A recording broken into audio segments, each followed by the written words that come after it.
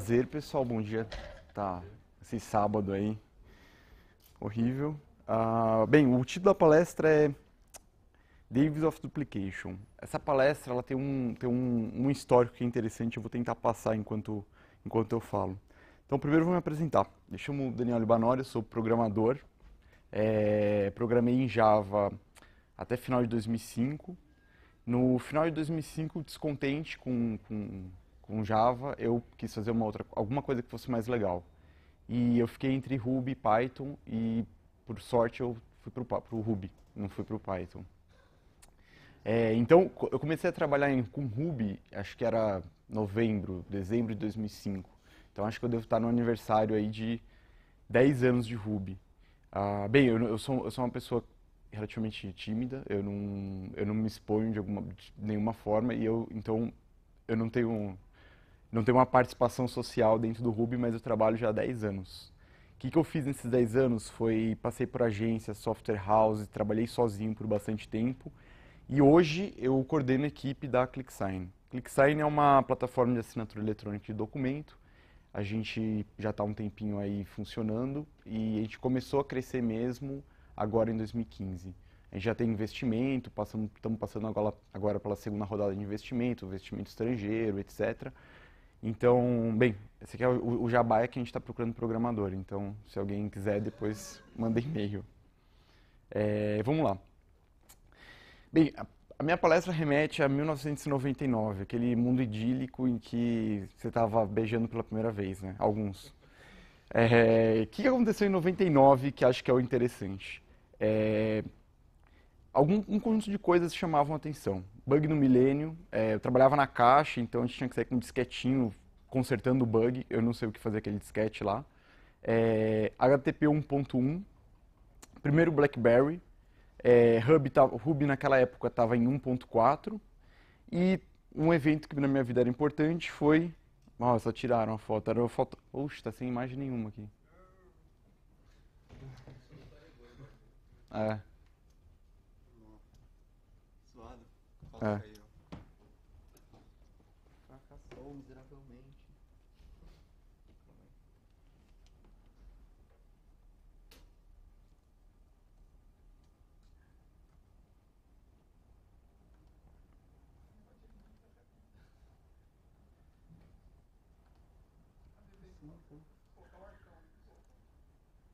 Vai, mais uma, mais uma. Aí, pronto, Aí, tá aí. molejo, ó. 99, um evento que... É. Bem... É, Bem, em 99 aconteceu o evento molejo. O Podfix não gosta, pelo visto, mas há quem goste. Mas o mais interessante para a palestra é esse livro, né? O Pragmatic Programmer, que lançou em 99. Ah, bem, esse livro fez, fez escola, de certa forma. E por que, que esse livro aqui interessa para a gente? Porque ele tem uma, um, logo no começo do livro ele tem uma das, um dos capítulos que ele aborda é o Don't Repeat Yourself. Ah, por que, que eu estou fazendo essa, essa, esse, essa história do, da palestra? Porque a pergunta é, tipo, quando você vai falar de dry, todo mundo vai fazer essa cara, dry? Por que falar de dry? Tipo, que coisa besta, né? Todo, todo mundo já sabe dry. E a palestra está baseada bem na ideia de que não, de que a gente não sabe dry, então o que eu estou querendo explorar aqui são esses aspectos que passou despercebido e ele tem um, um aspecto histórico que é interessante de por que ele passou despercebido. Remete, na minha, para mim, remete a 2005. Que o quê? 2005 foi quando o, o, o Rails estava entrando na versão 1.0 e o Rails começou a bombar é, lá em 2005. O que, que a gente tem de, de, de interessante? No Rails, ele fa fala-se muito do Dry dentro do Rails. Do, do, Rails. Então, ele basicamente, ele, que ele tem uma influência muito forte do Pragmatic Programmer, ele vai falar do que? De Convention over Configuration, é, existia uma certa tradição de se organizar a aplicação é, em cima de XML, um, um, uma coisa demoníaca do Java. É, o Active Record tava, tinha conseguido um, um, sucesso em relação ao Hibernate, que, que era relativamente mais complexo, etc. É, ele tinha o lance das migrations e ele tinha muito gerador de código. O Rails tem muito gerador de código. Então isso, por aí a gente consegue ver que você tem uma forte é, influência do, do, do, do, Pragmatic Programmer. E uma das coisas que, que, que, o, que o Rails fala é do Dry, né? Então é isso, agora todo mundo sabe Dry, porque Dry é isso, então, é Convention Configuration, é isso, isso e aquilo. E no fundo é, não, a gente não sabe Dry, porque Dry não é exatamente isso, Dry, na minha opinião, é algo que vai muito mais. É, quando, eu apresentei, quando eu fiz essa palestra pela primeira, vez, eu coloquei ela dentro da empresa e eu quis apresentá-la para todo mundo, para o pessoal de negócio também. E é interessante porque eu tentei ir abrindo a palestra, a, a apresentação, de uma forma que ela englobasse mais do que só o código, só, só o que nós programadores fazemos. E no final foi bem legal é que o pessoal de negócio ficou, ficaram mais impressionados que o pessoal da programação, apesar deles terem gostado bastante, porque eles viram que o Don't Repeat Yourself servia muito para eles. Então, o ponto é, não, a gente não sabe Dry. Estamos aqui em 2005 e a gente ainda em 2015 e a gente ainda está é, é, perdemos aspectos importantes em relação ao Dry. Passou 10 anos. Ah, sabemos Dry? Não, não sabemos. Agora que 10 anos depois aprendemos? Não aprendemos. Esse é o Anderson Leonardo, para quem não sabe, tá? Que é o vocalista do molejo.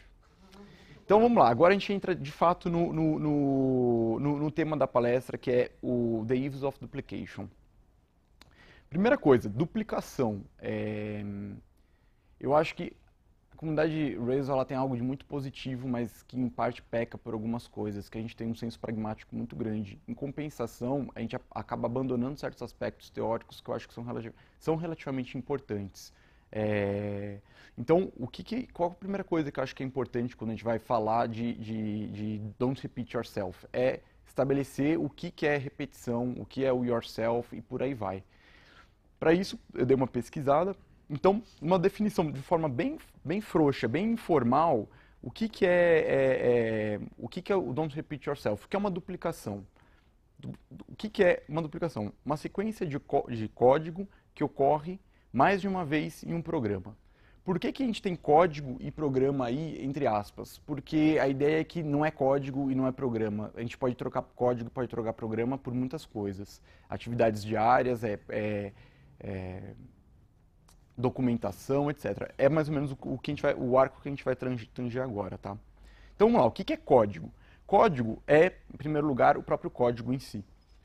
O que é código? Teste unitário, teste de integração. Muitas vezes a gente está é, programando alguma coisa lá no Selenium ou qualquer ferramenta de fazer uma automatização, isso para mim eu estou chamando de código. Código é o quê? Uma rake que é código. O nosso deploy é código. É, o, seu, o próprio ambiente de desenvolvimento, subir um ambiente de desenvolvimento, ter o seu ambiente de desenvolvimento funcionando, é código. A documentação do seu projeto é código. Então, uh, eu estou tentando abrir o leque do que significa a palavra código. código é muita coisa. Tá? É, e agora a gente vai falar o que, que é duplicação, o que, que é repetição, tudo bem? A repetição é Aqui eu tô nesse slide basicamente que eu faço é falar assim, repetição não é simplesmente não é simplesmente uma palavra, repetição. Repetição ela tem um conjunto de significados por detrás dela. E o que interessa para a palestra é quais são os tipos de repetição que existem.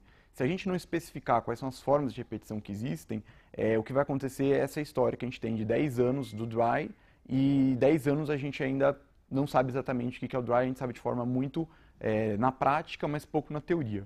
Então, quais são os tipos de duplicação que existem? Isso aqui é, é não, não, é invenção minha, é, eu pesquisei para fazer. Então, basicamente, existem quatro tipos. Imposta, inadvertida, in, impaciente e interpessoal. A gente vai percorrer os quatro tipos e vamos tentar depois é, é, ver o que a gente consegue fazer que consiga eliminar esses tipos de duplicação no nosso dia a dia. Aqui é a primeira carinha que a gente faz, né? Quando a gente descobre que duplicação não é duplicação. Duplicação tem tipo, tem é, motivos que levam a certas duplicações específicas, elas não estão ocorrendo de formas aleatórias nem nada. Então vamos lá. Primeira duplicação é a duplicação imposta. Porque, é, o que, que é, por que, que existe duplicações impostas? Ou o que levam a duplicações impostas? Ah, o primeiro caso são múltiplas representações. Uh, eu vou dar um exemplo. É, você tem duas classes lá. Você tem comprador e vendedor. E o sujeito não usou, por exemplo, uma herança. E aí você tem é, um dado que ele está representado de formas distintas, ou uma forma de se representar dados que ele está representado de duas formas distintas. Poderia ser eventualmente resolvido com uma herança, o que é um erro, mas não importa. É, documentação no código. Muitas vezes quando a gente está fazendo um, um, código, quem trabalhava com Java talvez saiba disso, que você tem todo o Javadoc, que você faz as especificações, etc. E lá você declara o tipo na documentação, depois você declara o tipo na assinatura da função e pronto, você duplicou. Você tem o tipo colocado em dois lugares. Por que, que isso daí é, é isso é, é, uma, é uma duplicação que está sendo imposta pela ferramenta de, de, de geração de código, no caso de geração de documento, no caso o Javadoc. Documentação e código. Isso daí já é, já é uma é uma outro tipo de duplicação. Muitas vezes você gera, você faz uma API e você precisa fazer uma documentação dessa sua API. Você de certa forma já duplicou algo ali. Por quê? Porque você tem uma intenção expressa num código e você depois exprime a sua intenção para uma outra pessoa em cima de uma documentação. Por último, aspectos da linguagem. É, isso daí, assim, em várias linguagens, uh, e eu vou, dar, eu vou dar exemplos depois, a gente tem, é, é, tem aspectos específicos que fazem com que nós sejamos redundantes. Por exemplo, em Java, é, eu estou dando exemplos de Java, mas a gente consegue encontrar em Ruby. Eu vou até dar um exemplo depois em Ruby. É, em Java tem aquela classe é, user maiúsculo, user minúsculo, nome da instância, igual é, new user. Tipo, porra, tem tanto usuário assim, né? É, uma forma de duplicação que está tá ocorrendo lá. Em Ruby já não acontece isso, porque a gente só faz o, a, usa tipagem dinâmica. Vamos lá. Eu vou dar exemplos aqui já, já das múltiplas representações é, é, postas. Eu falei, mas vou, vou, vou colocá-las dentro, colocá dentro do slide.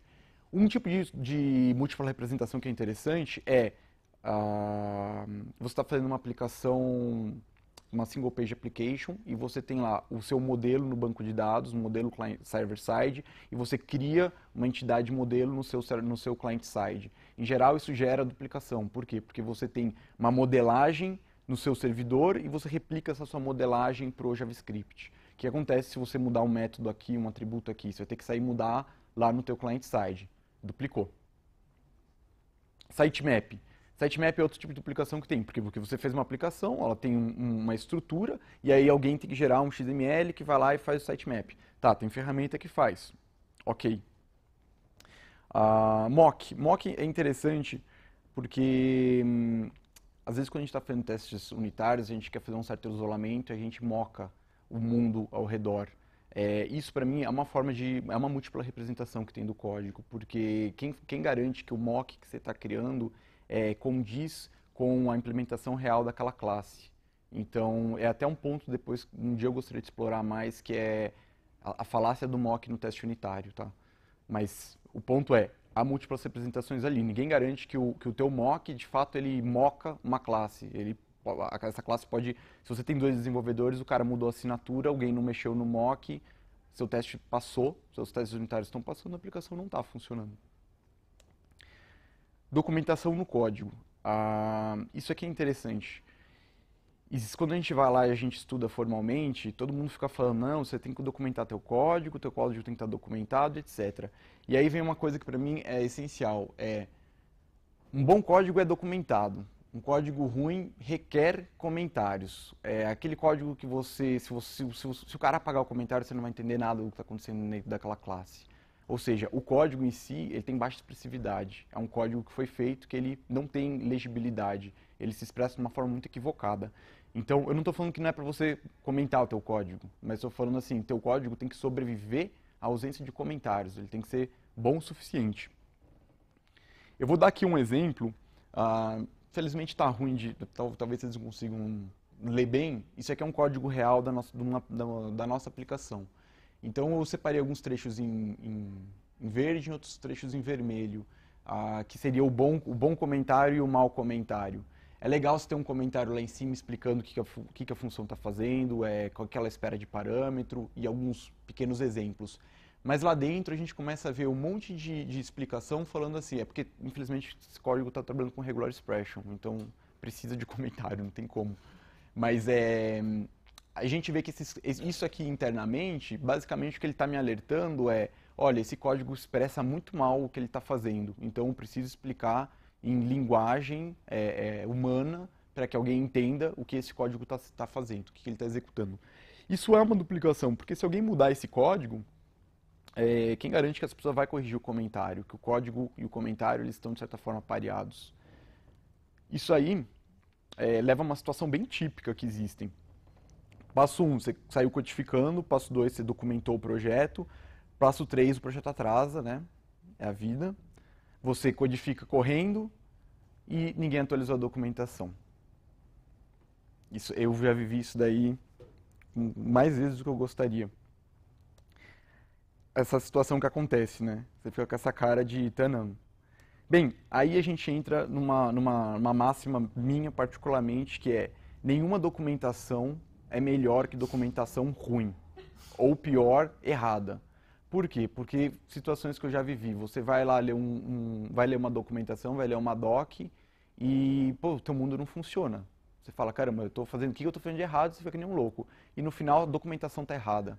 Então, eu preferia nessa situação que eu vivi que não houvesse documentação ali. Então, se for para fazer uma documentação, alguma forma de documentar, comentar o código, que eu estou chamando de, documentação, é, ruim ou com um pior do que o próprio código, meu, não escreve nada, você vai, ser, vai, você vai deixar as pessoas mais felizes, inclusive você mesmo, porque às vezes é você no dia seguinte que vai ler teu, teu, teu, tua documentação anterior e você não entende nada porque você escreveu aquilo. É... Agora, aqui também, isso daqui é uma coisa que serve muito para quem é rubista, tá? Que é o ponto seguinte, para mim, é, o código, ele é um documento. Em primeiro lugar, código é um documento. Ele é um documento, ele te, deveria ser um documento claro, simples e representativo. O que, que, o que significa cada uma desses, dessas qualidades, desses adjetivos? Claro é, qualquer pessoa que leia, entenda. Simples é, uma, não basta você entender, você tem que... que é,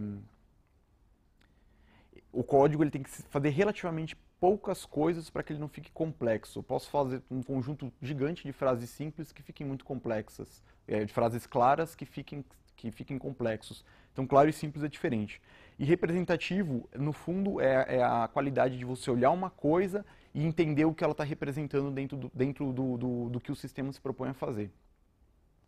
É, então, aí a gente vê que documentar faz parte de codificar. Quando você está é, escrevendo teu código, você está, de certa forma, documentando. Eu acho que, uma das, na minha opinião, uma das características é, ímpar de um bom programador é escrever o código com alta legibilidade tá? e alta representatividade. Ah, existem problemas computacionais complexos, existem e existem certas pessoas que têm esse dom para resolver. Mas no dia a dia, o nosso trabalho, eu acho que 90% do nosso tempo, ou vou usar Pareto, 80% do nosso tempo é escrever um código em que as pessoas consigam compreender esse código de uma forma simples. E não é, é você, porque você volta no dia seguinte e você precisa entender o que o código está fazendo. É teu colega do lado, o programador novo, é uma série de, de pessoas. E por último, o gerador de documentação. Se você conseguir usar uma ferramenta que consiga pegar um código extrair desse código uma intenção que esse código quer fazer e gere uma documentação para você, ótimo. Por quê? Você não está se repetindo, você não está fazendo um código e escrevendo uma documentação. Você escreveu meramente um código, esse código já gerou para você uma documentação. Aí a gente tem vários exemplos, né? Eu falei do Javadoc, tem RDoc, tem SDoc, tem um monte de, de ferramentas que podem fazer isso para a gente. Vamos lá. Ah, aspectos de linguagem. Eu falei um pouco do, do, que o, do, do, Java, né? falei mal do Java. E agora eu vou falar um pouco mal do Ruby. Bem, o Ruby ajuda é, certos, certas, eliminar certas duplicações que existem. Ruby ajuda bastante, mas Ruby também tem alguns problemas. Esse aqui é um código Ruby que é interessante. Ah, a questão de módulo, né? Você abre um módulo e você, sei lá, você criou uma, uma classe num determinado módulo. Depois lá para frente você vai precisar colocar mais coisas dentro desse módulo e você sai lá repetindo o módulo, sai repetindo é, todo, toda a hierarquia de módulos até você chegar na, na, na, naquele submódulo específico que você queria fazer. É, bem, aí alguém foi lá e mudou o nome de um módulo intermediário e você ficou numa situação esquisita. Ah, bom, como que você poderia resolver? É interessante que em Coffee, por exemplo, que é na verdade em JavaScript, a gente já poderia fazer diferente. A gente poderia simplesmente fazer a definição da classe e num outro ponto a gente pode fazer esse tipo de atribuição em que a gente colocou esse cara dentro de um determinado namespace. Ah, não estou falando que essa solução é a melhor solução, estou mostrando um aspecto que existe de duplicação dentro da linguagem Ruby e uma outra forma que teria de resolver essa duplicação em outras linguagens. Isso aqui é tudo código real, ali é um código do ordem da nossa autenticação.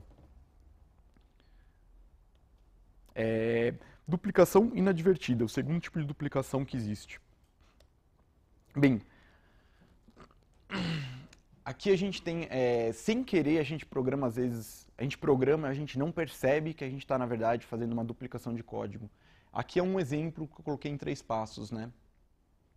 O, o sujeito fez lá uma classe line, ele começou já usando o AtterAccessor e fez lá as três, os três atributozinhos. Aí o, o, o length mudou, ele tem alguma outra matemática que ele tem que fazer internamente, ele criou uma função. Depois ele foi lá e, e teve que refatorar. Isso é um processo de refatoração do código, né? O cara foi mudando o código, de evolução do código. Aí chegou numa situação em que o cara fez um start especial, um finish especial ali. Ele mudou um pouquinho as coisas. O que é interessante, assim, sem perceber, é, é, inconscientemente, esse código ele uma ele está ele tá sendo duplicado. O cara poderia simplesmente ter feito um, um, uma função aqui, um class evol, que, que fizesse dinamicamente a geração desse código. É, isso aqui é um exemplo mais ilustrativo do que real. Mas no fundo é o seguinte, às vezes a gente está programando uma coisa e ela vai, ela vai se complexificando e no final a gente não percebeu que a gente tem dois códigos que são relativamente iguais. Tá? O que, que a gente pode fazer para evitar esse tipo de, de, de situação? É, é, uma situação muito parecida que vai acontecer quando... Aqui eu criei uma situação em que dois códigos chegaram à mesma situação por um caminho, né? Por, é, inadvertidamente chegou-se a uma duplicação. Mas existem, existem situações que dois desenvolvedores criam a duplicação. Eu vou abordar isso aqui no slide um pouquinho mais para frente, que eu acho que é bem interessante. Então eu vou remeter esse slide no futuro. Duplicação impaciente. É... A pergunta é por quê? Por, quê? por que, que existe a certa impaciência? Né? É... Como que surge a, a, a, a, duplicação impaciente? Ela é o famoso Ctrl-C, Ctrl-V, CP é, e por aí vai. Por que, que, por que, que aconteceu a duplicação? Aconteceu por um motivo muito simples, impaciência do programador. A impaciência pode acontecer por motivos mais complexos. Está atrasado, você tem que ir embora, ou você está de saco cheio mesmo. Não sei, acontecem. A pergunta toda é por, por quê? Porque, por que, que você está impaciente, né? No fundo é por que, que você fez essa cópia? Porque ela é uma cópia relativamente burra, ela vai te custar mais caro do que o tempo que ela te economizou. No futuro, isso vai te dar muito mais dor de cabeça. Se você somar o quanto custa um Ctrl-C, Ctrl-V na tua vida, vai sair muito mais caro se você tivesse feito adequadamente. Então aqui tem uma imagem que representa bem o lugar de quem faz copy-paste. É esse aqui é o inferno de Dante, aquela é a última esfera, tá? É o, o pior lugar que, a gente, que, o, que o Dante conseguiu imaginar para alguém. É, e duplicação interpessoal. Dentro de uma equipe, você tem várias pessoas trabalhando e pode acontecer de dois programadores estarem programando coisas distintas numa aplicação e causar, numa mesma aplicação e causarem uma duplicação. É... Que que, isso infelizmente acontece. É, dentro de uma equipe isso já acontece. Dentro de uma empresa as chances são muito maiores. Então você pode ter é, o cara do quarto andar duplicou o código, duplicou não, né? Fez uma classe extremamente parecida com o cara do terceiro andar e o cara da China fez o código parecido com o cara da Índia. Isso pode acontecer. Então, quais são as saídas que a gente tem para evitar duplicação interpessoal? É, daily meeting é uma boa para todo mundo pode se expressar. É, e aí você pode falar assim, ah, eu já fiz isso, já estou programando uma coisa parecida, olha esse código, ele tem uma coisa que você pode ajudar, etc. Ou seja, daily meeting é comunicação, comunicação verbal, e-mail, o que for. É, representa a comunicação. Code review é importante porque muitas vezes antes do código ele entrar em produção, ou uma vez que ele entra em produção, ele começa a se. ele cria uma raiz na aplicação e ele, ele se espalha e fica mais difícil mudar ele. Então o code review, às vezes o cara está olhando e ele fala assim, não, dá para. Ah, isso aqui está duplicado, olha tal classe, já fiz, etc. Então num code review você conseguiria fazer esse tipo de, de detecção. O Flay, o Flay ele é, uma, ele é uma ferramenta que acho que a Code Climate acabou pegando ele e colocando dentro do, do, do, do da suite deles. Mas o Flame é uma ferramenta desenvolvida pelos caras acho que de São Francisco, esqueci exatamente quem, mas no fundo o que ela vai fazer é uma, ela faz uma redução lógica do código, ela pega o código e cria o aspecto lógico dele e percebe que há duplicações em dois códigos. É, é uma forma da gente perceber a duplicação. E o Code Climate, que eu acho que faz um serviço relativamente muito bom, que é perceber é, é, é, é duplicações que estão acontecendo dentro da, da, aplicação de forma automatizada. É interessante que eu já tive casos no Code Climate de ter duplicação em duas classes que, eu, que não faziam nada, não tinham absolutamente nada a ver com o que, o, com, com o que elas faziam dentro do sistema. É... Então vamos lá. Então qual que é o princípio? Então a gente estudou mais ou menos o que, que é código, o que, que é o que é duplicar e agora a gente, eu vou tentar reformular o Dry de uma forma que tal, tal seja um pouco mais complexa e, e abarque tudo isso. Então vamos lá. Toda peça de conhecimento, eu não estou mais falando código, estou falando toda peça de conhecimento deve possuir uma única representação dentro de um sistema. Ah, isso daí, na minha opinião, é o princípio do, do Dry. É, o Dry, ele de certa forma está tá pensando agora um pouco no Rails. É, o que a gente aprende do Rails é, um, é um, uma pontinha do iceberg do Dry. O Dry vai, vai, vai além. Eu tentei expandir a ideia do Dry para a gente conseguir perceber que ele está no nosso dia a dia. Por isso, quando eu apresentei essa, essa palestra para o pessoal do, do negócio, eles ficaram, bem, eles ficaram relativamente impressionados, porque lá eles pensaram, poxa, o que está acontecendo quando, bem, a gente tem uma coisa chamada funil de vendas lá que está acontecendo no funil de vendas, aonde está a duplicação, por que, que é, é, tem duplicação interpessoal, que é duas pessoas entrarem mesmo, com, mesmo em contato com o mesmo deal, é, e por aí vai. E como que a gente poderia fazer, como eles pegaram essas coisas que são muito ligadas à codificação e transpuseram para o negócio e, e, perceberam que daria para você é, evitar duplicações. Tudo bem? Então aqui é o final, né, o Anderson Leonardo feliz que agora ele sabe dry, agora ele conseguiu compreender a complexidade do que é dry. Bem, eu não sei se tenho tempo, é, a palestra teoricamente acaba aqui, mas existem, existe uma surpresinha, né, que é uh, o WET. O que é o WET? O WET foi uma brincadeira que surgiu que é Write Everything Twice. Seria o, o contraprincípio do dry, tudo bem? Que é, ah, no começo acho que ele surgiu com uma piadinha, etc. Mas eu acho que existe algo muito positivo. Ah, porque quando a gente pensar no dry, é, o que a gente sempre é levado a pensar, em primeiro lugar, ah, o dry é eficiência. Não eu, não, eu não, eu não acho que o princípio do dry é um princípio de eficiência. Na minha opinião, ele é um princípio de modelagem. Por quê? Porque hum, o problema do dry, às vezes você tem soluções que não são dry, o copy-paste, tá? Ela não é dry, mas mas ela, ela, na hora, a eficiência dela é gigantesca. Ela resolveu o seu problema. O problema, do, o, que o, o que o Dry ele vai resolver mesmo, são é, um código que, ou uma intenção que tem várias representações, vários códigos que, tão, que fazem essa intenção. É, por que, que isso é, é ruim? Porque uma vez que a gente vai modificar algo, ou uma vez que a gente tem que implicar dinamicidade dentro do sistema, a gente não sabe quais são todas essas múltiplas representações dessa intenção e a gente não vai conseguir consertar de forma adequada. Então, na minha opinião, ele não é um princípio de eficiência, ele é um princípio que está regindo mais a organização conceitual do que a aplicação está fazendo. Só que o que é interessante é que vamos pensar na contrapartida, no, no, no inimigo do drive, o, o, o ET, né? O que, que, é que ele tem de interessante aí ou como que ele pode ser é, eventualmente positivo para a gente? eu coloquei coisas bem abrangentes, saindo bem da parte de programação. Na arte, você tem muita questão do wet. Você tem artistas que trabalham muito o mesmo tema, desenham muito o mesmo quadro. O o Picasso, sei lá, acho que era o Picasso, desenhava as mulheres sempre de costas, etc. É, o Camus, ele escreve uma história que é sempre praticamente a mesma história, com pequenas variações, etc. E, poxa, esse cara ele está se duplicando, ele já contou essa história uma vez, porque ele está contando de novo. É porque, no fundo, ele está explorando aspectos de se contar uma mesma história. Na aviação é interessante porque na aviação a gente tem, eu estou chamando de duplicação, mas é, a gente poderia chamar de redundância no caso, né? A gente tem um certo mecanismo que controla a asa, mas os caras falam assim, não, não quero um mecanismo, eu quero dois mecanismos que controlam a asa, porque um pode dar problema. Em IA dá para ter umas coisas interessantes, que em IA a gente tem, por exemplo, um determinado problema a gente vai usar uma heurística para resolver esse problema. Mas por que, que a gente não tenta, tenta, duas heurísticas ao mesmo tempo e ver como ele vai é, é, lá dentro, tá? Por que, que a gente não duplica a tentativa de solução? Na ciência é um aspecto muito interessante que existe da duplicação, porque você tem várias pessoas estudando a mesma coisa.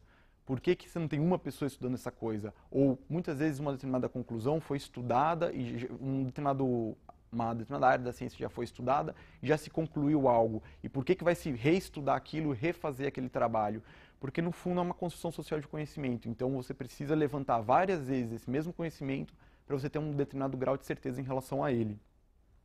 E acho que agora uma parte que interessa mais para a gente é a parte de infraestrutura, porque a gente sai duplicando nossa infraestrutura porque a gente tem medo que, que caia. Foi até a palestra do colega aí, que ele falou assim, pô, eu tô, tô fazendo ali um, um, um está horizontalizando e etc. E isso naturalmente é, você duplica bastante coisa, está duplicando suas máquinas, está duplicando um monte de coisa. E ok, é, por que que por que que isso aí é, um, é uma é um, tem um certo antagonismo com o Dry? Porque, poxa, não é mais fácil eu ter um único servidor e garantir que ele está sempre vivo, ele está sempre bem? Ah, tudo bem, tem gente que adota essa estratégia, pode funcionar. Mas pode eventualmente ser melhor foda-se isso, eu vou copiar tudo, fazer um monte igual e vamos ver o que, que sai daí. Então, eu acho que só pôr uma contrapartida do Dry, que é o ET, que eu acho que a gente não pode pegar uma ideia e falar assim, ah, essa é a ideia. A gente tem que entender que essa ideia ela tem uma contraparte, e a contraparte pode ter aspectos positivos em determinadas circunstâncias. Ah, agora, encerrando de verdade, é, bem, agradecimentos, primeiro ao Guru SP, oportunidade de falar para vocês, a paciência de vocês, é, depois o, o, Dave Thomas e John Joe Hunt, que, é o, que são, é o, são, os caras do Pragmatic Programmer, que na minha opinião foi onde eu consegui aprender algo um pouco que eu sei de programação, e participação especial dos Gremlins e do Anderson Leonardo. Vocês têm uma certa rejeição, mas quem nunca? Tá aí, por fim, Daniel Albanori, tá aí meu Twitter, que eu nunca tweeto, tá meu GitHub, que nunca tem nada aberto, e tá meu e-mail. É. O, essa apresentação está no. Eu não sei aonde. Speaker Deck, Slider Deck, não sei. Está no Speaker Deck, tá, tá na descrição lá da, da, da, da apresentação. É, ela está atualizada, a anterior tinha algumas coisas que eu não tinha posto. Eu não sei se tem, se tem tempo para pergunta, se tem pergunta.